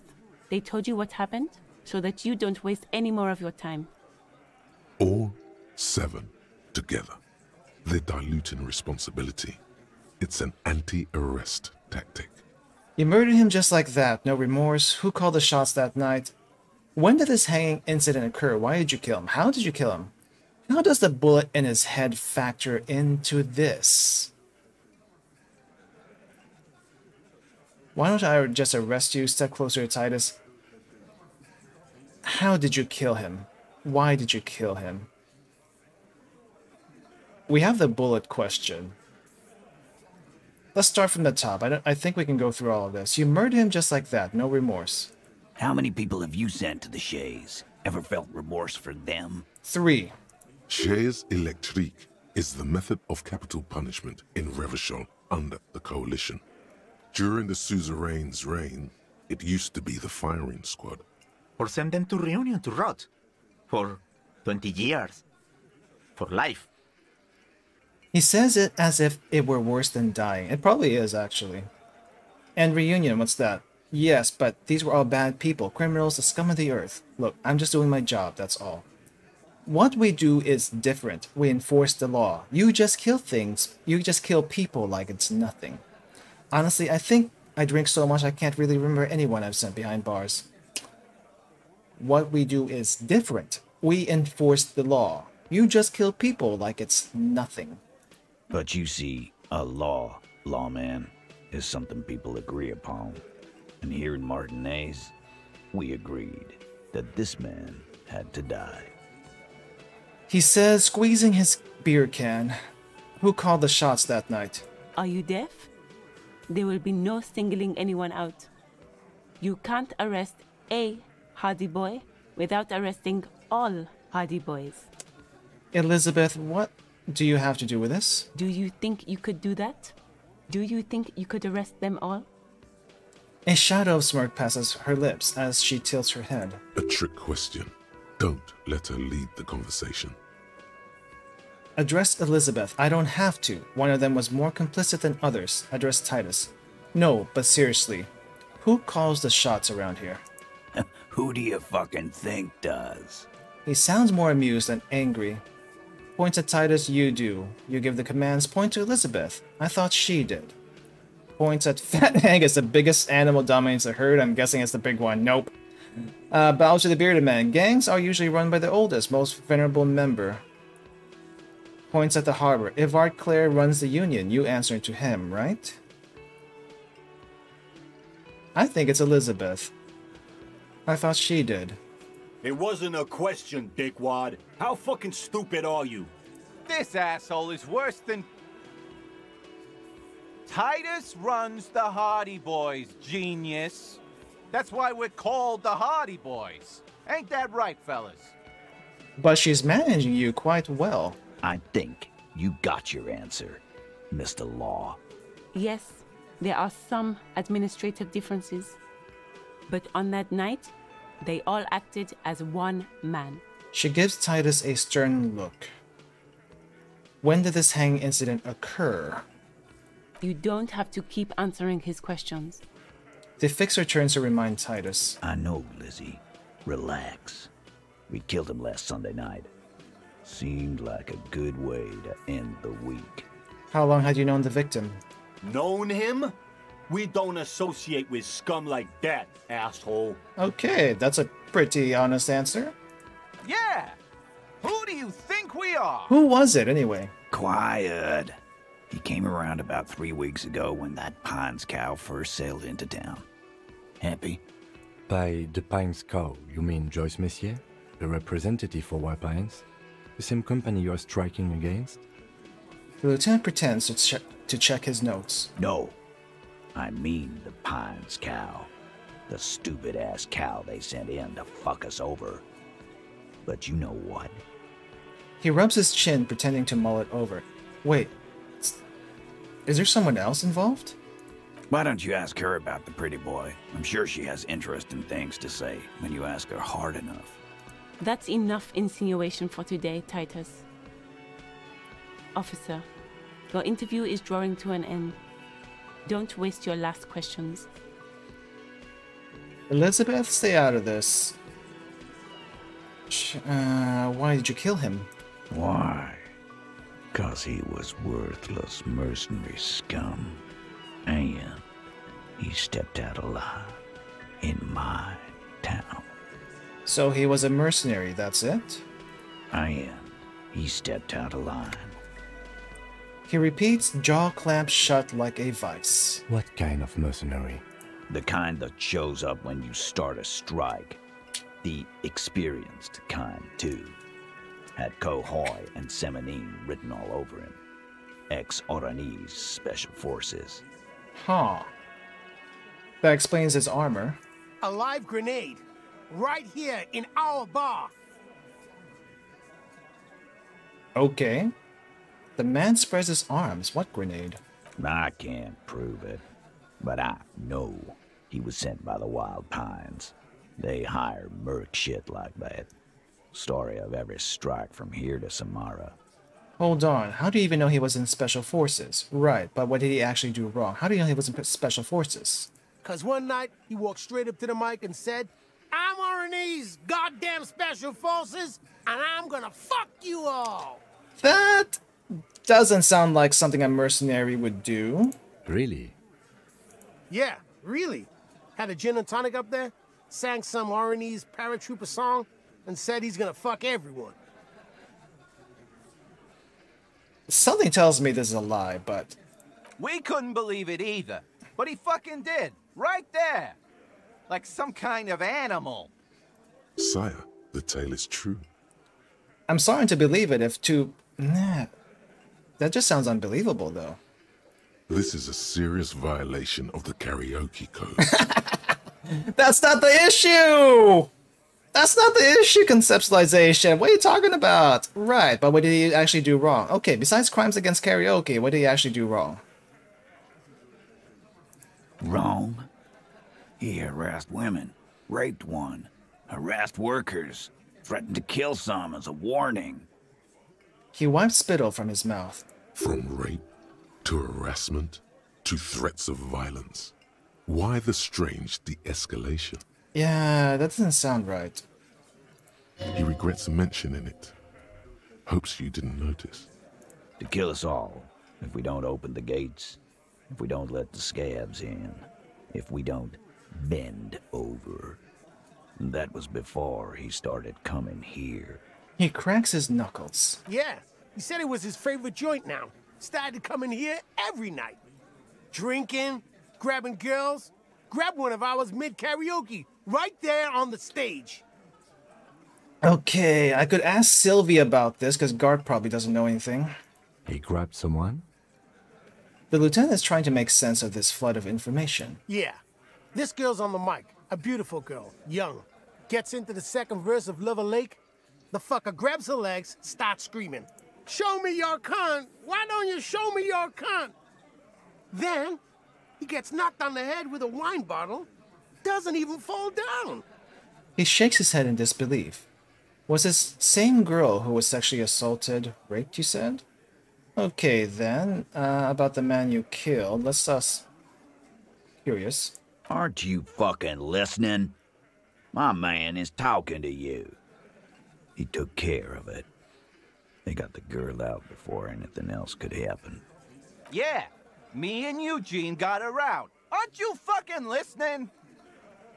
He repeats like a parrot. Yeah, clarification would be nice, just say. There's something odd here. Yeah, I'm feeling that there's they're corroborating a story between them. Now, there's no question there's no question about it. They are involved with putting him on the branch, but there's something else going on here. I'm not sure what it is. Seems like they don't want to talk about that rape Titus mentioned. Why not? This is a serious allegation. Make them talk about it. Okay then. Well, that's a side thing. Let's not get caught in that. Uh, okay then, about the man you killed. What about him? How did you kill him? We hanged him up by his neck until he got real still. Wasn't that obvious, Copper? No, because that's not true. We found a bullet. Didn't they teach you anything at the cop school, idiot? The autopsy showed there were no ligature marks. His hands were not tied. Can you explain that? Um, we. Look, I'm not gonna play 20 questions with you, Capo. I'll say it again. We killed him. He looks even more irritated than before. Okay. They're, they're trying to play tough. Who put you guys up to this? Yeah. I knocked him out. Came up behind him and clubbed him in the back of the head. He went down like a sack of sand. Odd. There was no. There was no signs of uh, a concussion. That's right, lawman. And then we hanged the fuck. Make them a bit more uncomfortable first, then see if it all adds up. Mr. Tats, what did you use to knock the victim out? Where did this where did all this action take place? Things aren't quite as crazy. uh, Things aren't quite right here, are they? they it's not. Uh, what did you use to knock the victim out? My fucking elbow, Copper. Samaran boxing style. Yeah, I don't believe that. Samaran boxing, or Sambo, is an eloquently violent set of one-on-one fighting moves originating from the Samaran Isola. Sambo style implies stealth, cleverness, and cool. He may be lying, but he's good at it. No twitching, no rushing, no uncalled for details. Where did all this action take place? Right fucking here. Eugene already told you that the fuck had started coming to our bar. Yeah, man. Weren't you listening? Okay. There's something wrong here. Composure. Let's... I, do I have an extra point? I do not. Okay, there's all or nothing. Please work. Titus is solid as a rock, and so are a few others. But Yes. Ah, that is... Yes. I think... I think uh, we may have checkmated them on that. First, tell me who's solid. Elaine, who looks like he might be Titus's right-hand man, the least antsy of the bunch. Definitely not his first time being questioned by the police. This little rat-faced fellow is solid too. Always fidgety, yes, but no change there. Him neither. Mostly keeps to his tomato juice, or whatever he's got there. Who's cracking under pressure?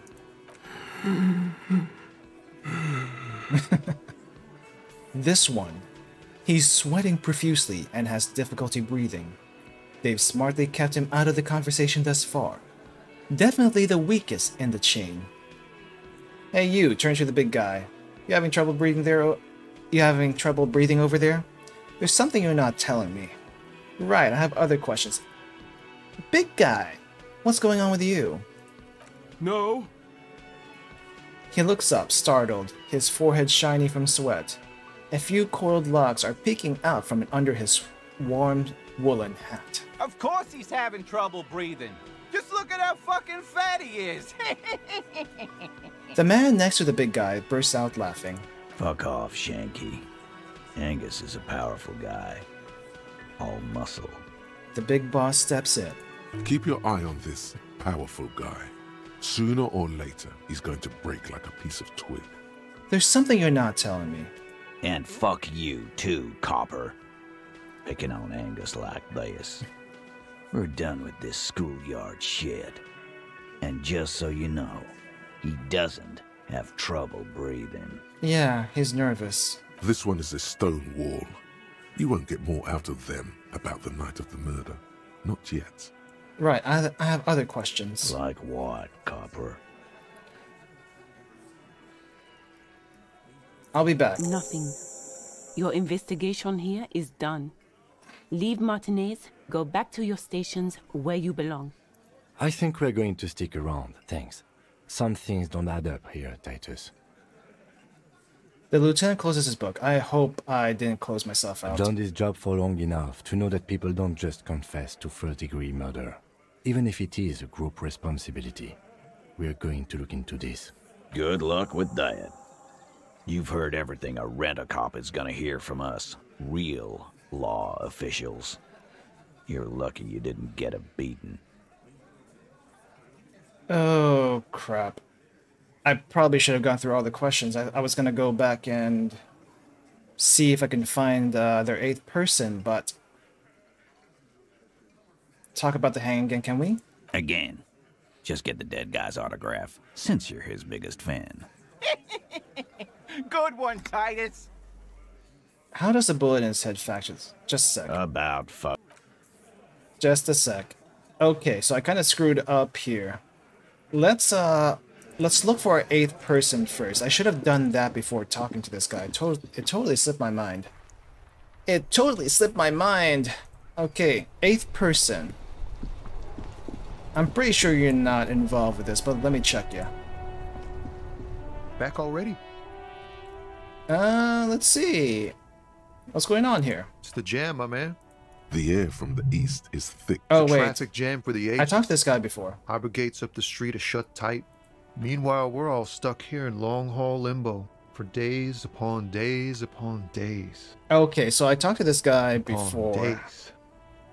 I talked to this guy before, and uh, I guess I didn't save uh, in that one time I did talk to him, so I'm just going to go through the prompts to get this over with. Um, I'm going to try to pick the same prompts as I did before, if I can remember which one. That's a Fallen A6 you got there. Uh, these lorries are pretty neat. Interested? Not really, just asked because, I don't know, must be a cop reflex. Good eye, my man. Yup, she's an old one, but reliable. Me and her spent a long time together. Could I get one of those FALN tracksuits you're hauling? We're pals and all, but I can't just freely hand out the merchandise. The bosses won't be happy. Okay, he's uh he's trustworthy. Good. Right, I had another question. The man taps his fingers rhythmically against his arm. Uh, I'm good for now, thank you. Don't be a stranger.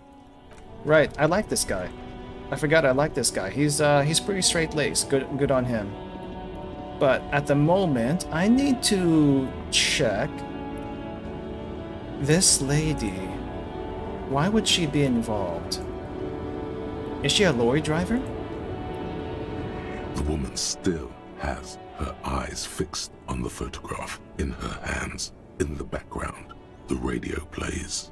Okay. Probably don't need to bother her today. She probably knows something, but not today. The only other person I know would be this guy. This guy. Looking for something? Nope. So I only know two lorry drivers. How about this guy? Are you a driver?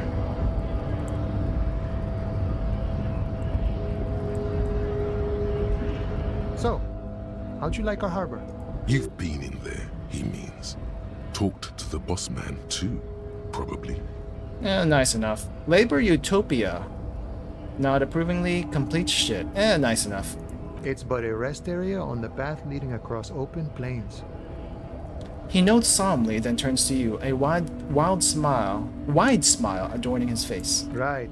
You talk to the boss, eye to eye, like men of the plain. If you have any more questions, I'm set to talk. Any idea who killed the hangman? The mercenary, eh? Who could have killed him? That's indeed the question. Why even do such a thing? The Merc was hanging with a very specific type of cargo belt, often used in heavy transport areas, for example, harbors. The harbor is a prime area of suspicion. In your opinion, are the dock workers involved in the killing? Let's change the subject. Let's start with the first one. What a thought! Why would noble workers resort to such a thing? Unless they were pushed, of course. Pushed how? Your dead guy was an enemy combatant. Hold up, what does that mean? He was an agent of the opposition, attempting to undermine our honorable efforts. Did you kill him? I ain't the murdering type, but that's just me. Large organizations like our union have all sorts of men, with all sorts of skills. Good to know. He's not lying. about not doing it himself. He means a more violent faction could easily take care of such a thing. Understood. This has been of limited use. Still, thank you. No problem. I wish the best to you in your search. Okay, well, I can't find the driver.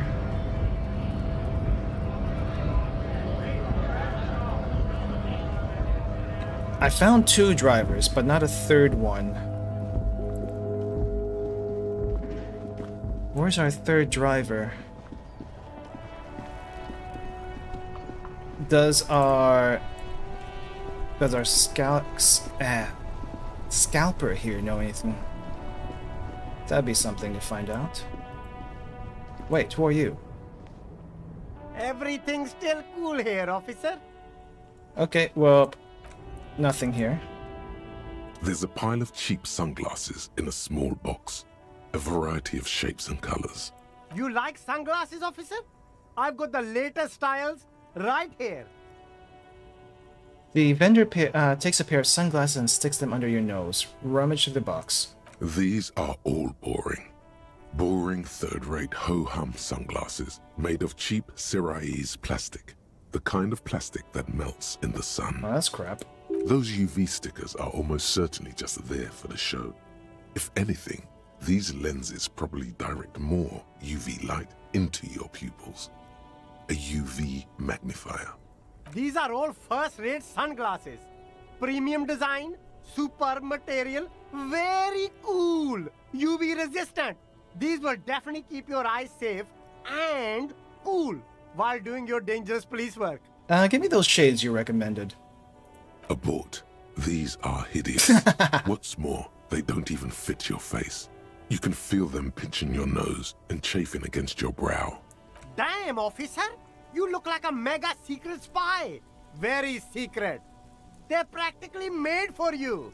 I'll let you have them for two real and fifty cents. They're perfect for concealing your bloodshot and baggy eyes. it's going to be very difficult for anyone to take you seriously with these things on your face. No, you are definitely not buying those. Don't tell me what to do, Kim. I like those sunglasses. You're right, I'm too sensible for those. Don't tell me what to do, Kim. I like those sunglasses. uh, you're right. Are you sure? But they look so good on you. You should think this through, officer. Shades of self-destruction. Electrochemistry plus one, minus one logic. Oh my. Uh, let's see. Try again. Maybe there's something else here. No luck. Yeah, I didn't think All so. you find is this lime-colored cellophane visor, produced by a bargain sportswear brand called Amphibian, apparently. There's a malformed green frog on its bent cap. Oh, that visor is perfect for you, officer. It'll definitely keep the sun out of your eyes while you're shooting criminals. Bang, bang! And all for a mere six real. Put the visor back. I, Kim, we're not. Yeah, maybe not. You don't like it? Sure, Square Joe. No problem. Let's get you some real shades. Wait, what? This is actually good and there's no drawbacks? I might have to vi- revisit that later. Okay. I'll look ridiculous, but my perceptions go You as see it two goes up. defeated speakers, thralls, slaves basically, perched atop them like conquerors surveying the land. A pair of FALN, durable wear sneakers, ultra serious. I can see you with taste for luxury, officer. Can't keep your eyes off those sneakers? Inspect the sneakers. A pair of FALN ultras. The design is impossibly sleek and simple. A futuristic silhouette with a sleek monochrome colorway, a jet black upper, and a silver lined midsole. Those sneakers, mister. Those sneakers are the latest FALN sneakers. Super air, super fine, super cool. Only 50 real. 50! I'm joking? Only? That's madness. It is madness. Plus one speed, uh, reaction speed, plus one hand-eye coordination, minus one encyclopedia. Not the worst thing. And this will go well with my gloves, but holy crap, that's expensive. No! Inspect the speakers. These once respectable speakers have been conquered. reduced to a mere prop by the indomitable FALN Ultras atop them. A small heat emboss on the veneer reads, Solidarity Aid from the People's Republic of Samara. The speakers themselves don't seem to display any magical qualities. No, no, don't look at the speakers, officer. Look at the sneakers. The sneakers are the stars here. The man points to the footwear, but I already looked at the sneakers. What about the speakers, though? Doesn't doesn't anyone want those speakers? These, officer? These speakers are Samaran garbage. I'm ashamed to even use them for props. Don't waste your time on them. Samaran trash? That sounds like they're from the Samaran People's Republic, produced under the dictatorship of the proletariat. Can't I just buy the sad conquered Samaran speakers? No way, officer! These aren't for sale. They're bad speakers. Low-fi socialist junk. But I need some speakers, that's why I want them. I think I might be lo-fi socialist junk myself. You're right, I don't have time for junk. I need luxury in my life. He wants to, he doesn't want to sell those speakers for whatever reason. I'm just curious, but I need some speakers. Well, if you want them... He pauses for a moment, calculating. But see, they are the pedestal for my sneakers. If I let go of the speakers, where will the sneakers go? I can't leave premium lifestyle sneakers on the ground. If, on the other hand, you wanted to buy the sneakers too, I could maybe throw in the speakers for little extra. 50 cents? Damn, so you have to buy the sneakers first. Wow, that's quite the bargain. So he is willing to let it go, but I gotta buy the sneakers. Okay, well, what's this? There are clothes inside. Cheap second-hand clothes, smelling of strangers' body odors. Don't be shy. These are premium class clothes. Good quality fabrics, best retro design. Save the economy with your style, officer. Save the economy? That sounds off. Save the economy? What are you talking about? Haven't you heard, officer? We've got to be economically conscious. Recycle your cash, keep it in circulation. Don't buy new things. Buy eco.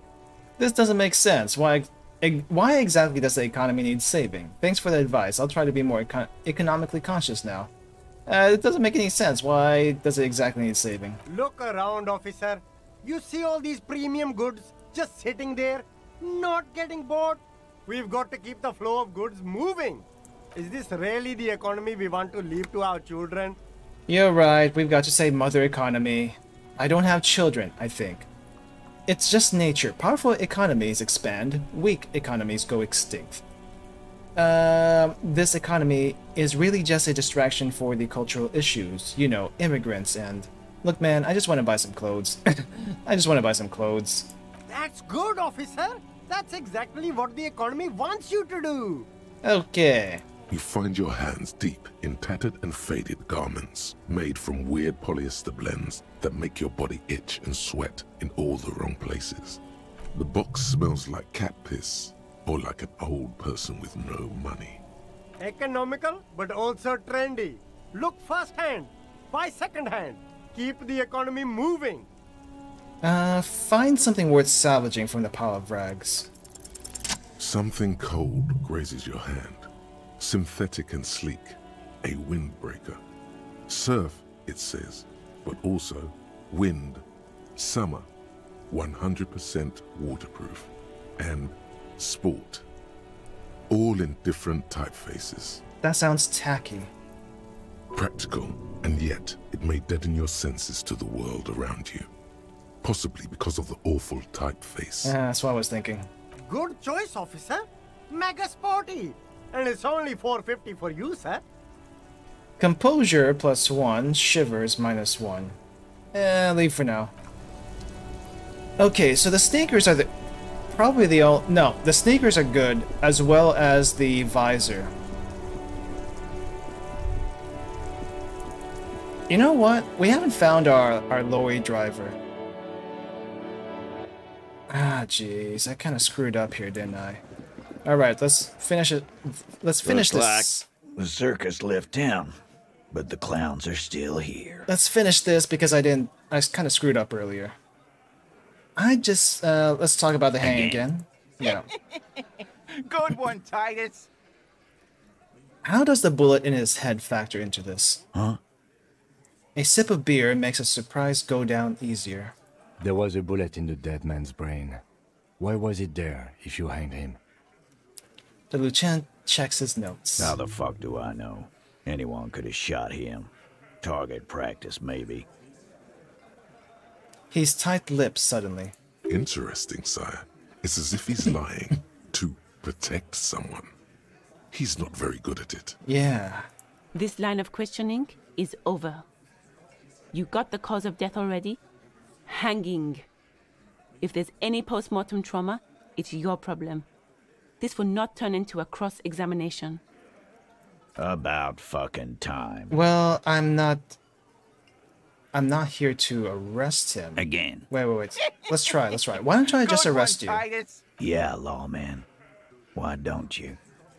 He takes a step closer as well, fixing his ball cap. It's almost an anthropological sight, watching him try to assert dominance over you. Not in the arresting mood? His mean little eyes come alive with hatred. A fearful readiness, like an electrical charge, raises hairs in the room. By your side, the lieutenant keeps his hand away from his holster. You hear the nylon of his coat hiss as he steps closer. Easy now, let's just talk. Wise move. Yeah. About fucking time. Okay.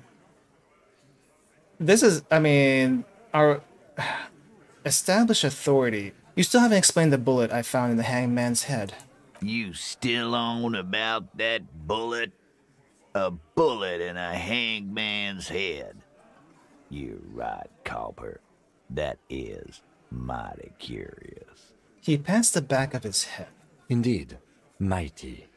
How did it get there? The lieutenant is fixed on Titus. Well, there are so many bullets in the world, and so many heads. He gives you an indulgent look.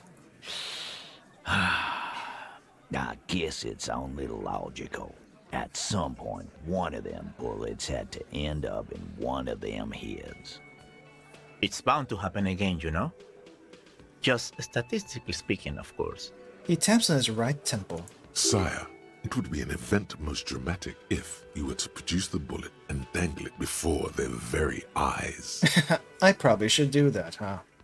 I'm going to ask you again, why was this, show them the bullet, in the victim's head? I think the hanging was a cover-up for the shooting. Why did you guys shoot him?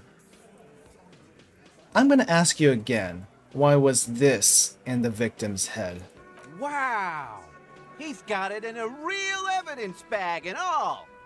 The little man leans in to inspect the leaden blossom. Why don't you go home and log it into evidence? These men have told you what happened. Elizabeth, you're hiding something. I think the hanging was a cover-up for the shooting. You know what I think? I think he was shot in the head as a kid, and his brain grew around the bullet. Doesn't work like that, man. Around the bullet, man. That's a good one. Elaine pinches the uh, root of his nose. All the goofing around is to avoid lying. It's a technique. I know that. Did you guys shoot him? Shit! I probably did shoot him. I was drunk last night. You guys know me when I'm drunk. They didn't shoot him. Yeah, Glenn likes to shoot his guns when he's drunk. Better hope he stays sober. The guy, the little guy looks you in the eye. No, he meant before he was hanged. Did you shoot him before you hanged him? Before? After? During? This is getting ridiculous. They told you what happened. Stop wasting your time. Don't worry, we'll figure this out sooner or later. Never been worried in my life, lawman. He crosses his hairy arms, having forgotten his beer for a moment. It's not like you blew it wide open, but there's a little crack in there, somewhere. I found eight sets of footprints, but there's only seven of you. Where's the eighth Hardy boy? What are you talking about, madman? There's no eighth Hardy boy. There's seven of us, and we're all here. He sizes you up. Or what? You want to be the eighth Hardy boy? We ain't hiring. He shakes his head. Actually, boss, we've been talking and we think she could maybe. She? So there's an eighth Hardy, and it's a Hardy girl? Who might it be? Elizabeth? The gardener? Were you involved with this, Elizabeth? Shut the fuck up, Glenn! I do the talking here. Now what the fuck do you want, cop? Did Elizabeth shoot the guy? So let me get this straight. There is an eighth Hardy boy. It's a she, and you don't like us talking about her? That's right. We're not talking about this. This is a private Hardy Boys matter. Nothing to do with your shit. End.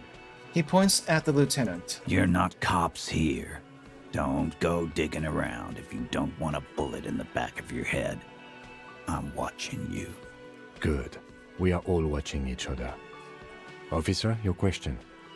Okay, the lieutenant adjusts his spectacles. There's no point in pushing it further, he thinks. This is All right, everyone. This is the part of the We'll video learn when more about things get a little bit messy due to some sooner or later. poorly made choices on my part. If you don't want to see it, skip ahead about five minutes. Or if you're curious, then stick around. Uh, but don't say I didn't warn you. All right, let's go.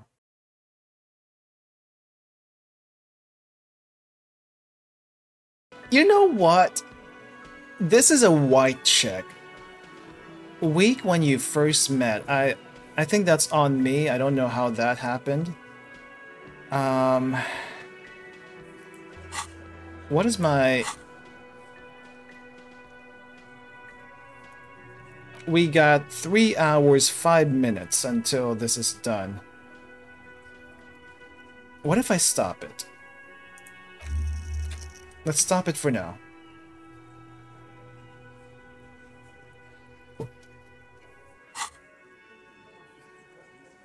It doesn't help. Let's just go for it. Let's just go for it. 3% all... Uh, there's gotta be something else. Establish authority. That's what I thought. Yes. Authority. Feverish thoughts race through your mind. Uh, how bad was it? Godly 16, your total 8. Well, only a 6-6 would have saved me there. First, you tell me someone's been raped, and then you don't say who. That's bullshit. Stomp your feet. I'm the only thing keeping this town going to hell, and you're not helping. Point to finger, turn to the Lieutenant Kim, I need your gun. That's it? That's all I got? Yeah, none of these are good. That's it? That's all I got? Did you already try the gun thing? I hear the gun thing is excellent and has great results. You're probably right. The others are only there for filler, to make the gun thing pop.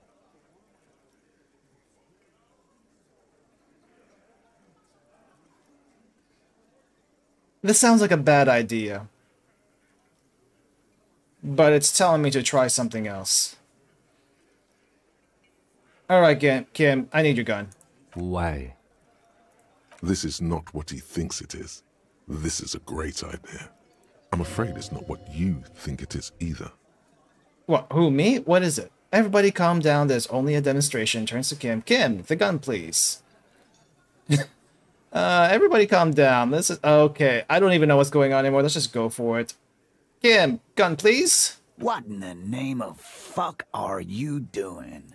But I don't want to give you my gun, not after the last time. Yeah, I, that that ma that makes sense.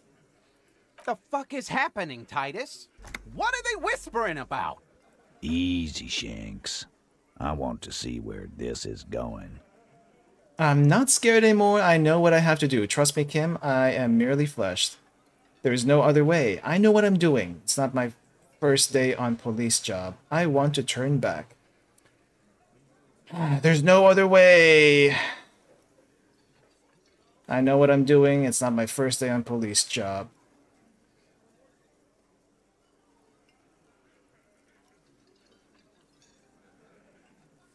There is no good options here.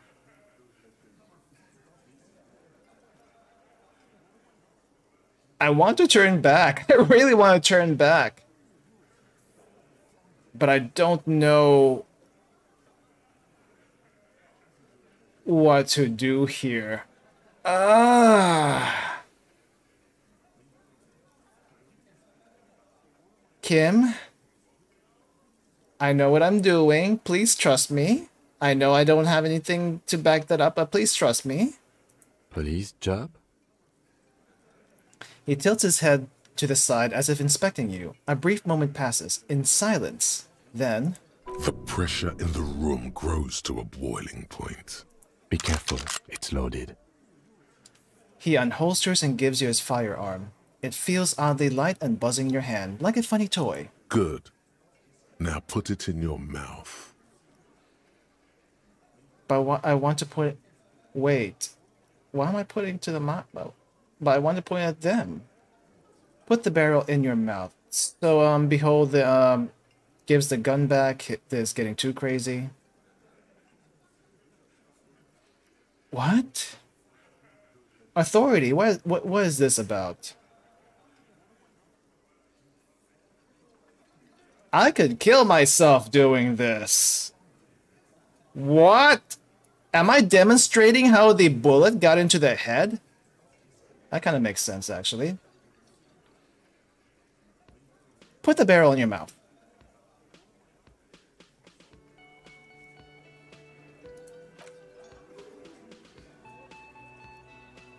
What are you doing? The cold, the short, cold barrel touches your lips. It tastes like iron and hell. Genuine panic flies across the lieutenant's face. Yeah, my morale went down. What the heck happened? Fellas, you getting any of this? These are my thoughts. This is my head. You will never forget what happens in five seconds if you don't respect me. What? That's not good. You better get ready to fucking respect me in five, four, three. No, I'm not. I'm going to kill myself now.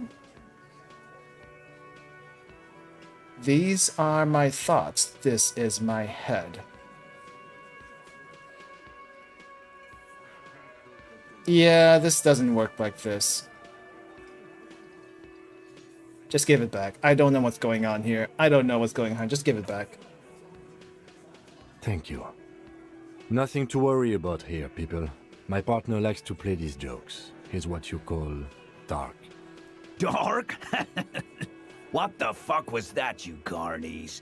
We haven't seen RCM in four years, and this shows up? I knew he wasn't gonna do it, though. I knew he'd pussy out. I kind of want to reload now. No, no. I still have my money on him. Sooner or later, he has that look. Wait, Theo. I don't think we saw you earlier. You just speak up now. Did you like my joke? Uh, let's go back to normal. Let's pretend this never happened. Oh, let's go back to normal. Pretend this never happened. Do not think your failed suicide attempt will win you any pity from these men. Do not expect them to forget it soon either. Yeah, I wasn't. Again, it was a dark joke. Maybe we should go for a little walk, Joker, before we continue. Jogging around seems to have a positive effect on you. Yes, get the serotonin running. Keeps those bad thoughts away. Well, I don't know what that was about. That was uh not what I expected to happen. I'm confused too. Don't worry, Kim. What in the name of hell was that supposed to be? The lieutenant is gritting his teeth. The theatrical suicide attempt. We need to talk about it. Yes, I want to talk about it as well. Yes, well, I was able to recontextualize it as a dark joke. I will not be able to recontextualize it the next time. I understand you sometimes employ extreme interrogation tactics, but I want you to understand that was too extreme. Yeah, I have no idea where that went either, to be honest. We can't have RCM officers going around putting guns in their mouths. We can't afford to have that image. Few institutions can. I understand that 100% it won't happen again. I went with my gut feeling and this time it was wrong. I'm sorry I put you in this position. I wish to I wish to embrace the gloaming ahead of time. The undoing of the atoms called to me. It's going to happen again. I'm going to do it again. I'm going to try to do it again soon. But why did she leave me then? Okay, so this was what that's what it's about. I went with my gut feeling and this time it was wrong. Yes, very, very, very wrong. I'm glad you see it my way. Let's go. Okay, well. That wasn't what I expected. Sorry, guys, for that. I thought this was gonna go somewhere else. I've got nothing to say to you. Why are you wasting your time? Are you the Hardy girl? I am not. She says dryly. You could be Liz. You could be anything. You could even be a model. Even a mod? Glenn, I went to law school. I am an attorney. Okay. He's right. With a face like that, she could be on the cover of Le Debutante International. He's right, you know. You're very pretty. Get a grip, Glenn. She went to law school. Okay, let's change the topic. Get a grip, Glenn. She went to law school. So fucking what? Lots of models are actually really smart people, fuckwad. You're not wrong, but that's not the point. No, Glenn, they aren't. Her tone is cold and uninvolved. This didn't change her opinion of you. It's not her. She's not a hardy girl. Definitely. No, but was she involved? Uh, let's see if Garte knows anything. Can I help you? Nope, nothing about the bill. I want to talk to Sylvie. She might... Sylvie said not to call her again. But she might know something about what happened.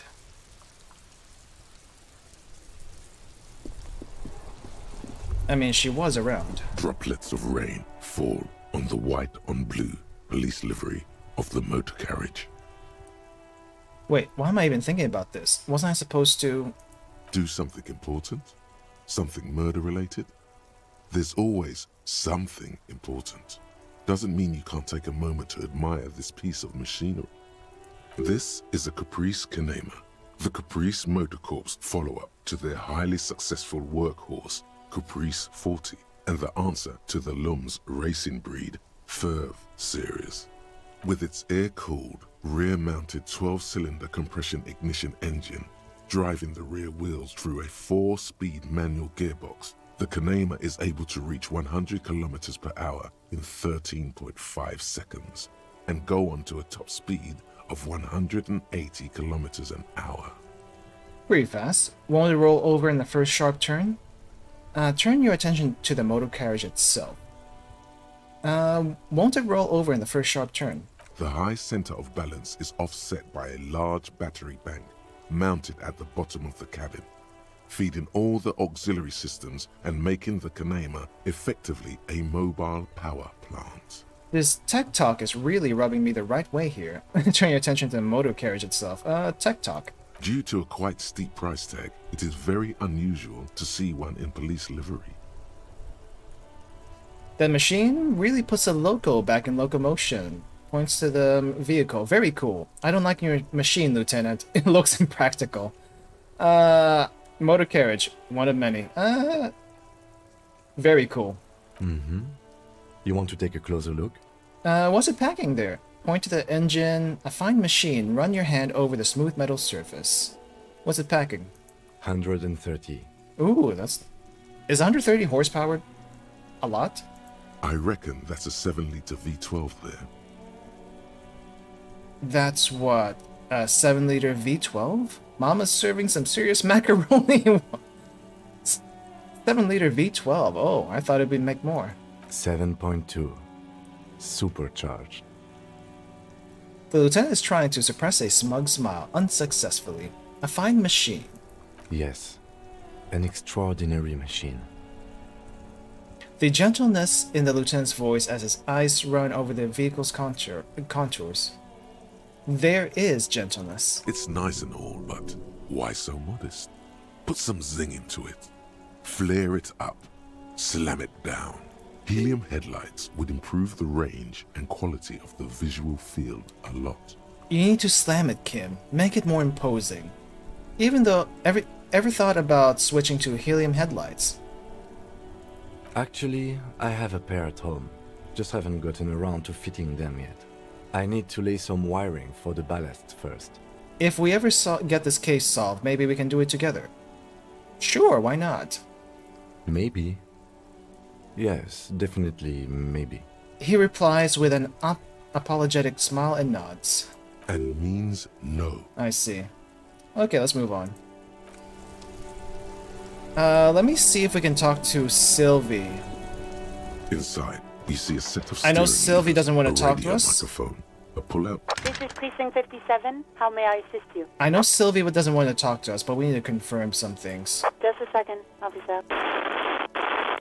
Sylvie Malaika on the line for you, officer. Yes. Hello? Hey Sylvie, this it's the police again. Oh, great. What else do you need, detective? Do you know how my paperwork ended up in the trash container behind the whirling? Not the question I was gonna ask. But let's ask that. Well, you tried to jam it down the toilet, sir, clogging it completely. After I had unclogged the toilet and retrieved the paperwork, I threw it out in the trash, thinking you didn't need it. Ah. So we didn't throw it out ourselves, she did it. I am sorry about that. Anything else, detective? Uh, the question I would want to ask you is not here regarding the events of the karaoke, so no, I think I got everything. Thank you. You hear the call breaking up on the up Anything else I can help you with, officer? No, we're done. 57th, over and out. in the cabin. You s- Okay, well, let's talk to Joy, see if she knows anything. Actually, no. Let's uh, let's end this playthrough here for today. I didn't realize we already went for two hours, and honestly, I don't know what went over, what came over me at the end there. Uh, definitely not the direction I thought it was gonna go which makes me think I really shouldn't be li- listening to the voices in my head all the time, which I already knew that. I already knew I wasn't supposed to listen to the voices all the time. And yeah, it went badly this time. So let's not try to do that again. Uh, let's act a little bit more rational. Like, he might not be thinking very clearly, but I can. So I need to you know, be his uh what do you call this? Not second guess. What am I thinking of? The second opinion to his thoughts. And I should do that a little better. I have no idea what was doing there. I didn't think this was going to be about the ex-wife. It's like, what the heck was that? What the heck was that? But at the end of the day, we really didn't get much out of anything from the Hardy Boys. Hopefully, we can do that next time. Um, but yeah, we're gonna be talking to Joyce, and that's it. That's it. Hopefully, we can get something else. Otherwise, we're gonna be stuck here waiting until 2100, trying to find the the guy in the apartment, and we got nothing else to go on. Well, I hope you enjoyed that playthrough, Nuggets. Things got a little bit crazy there at the end there. I hope it doesn't happen again but maybe we can make up for it next time. Thank you all for coming. Thank you all for watching. Have a nice rest of your day. See you next time. Goodbye.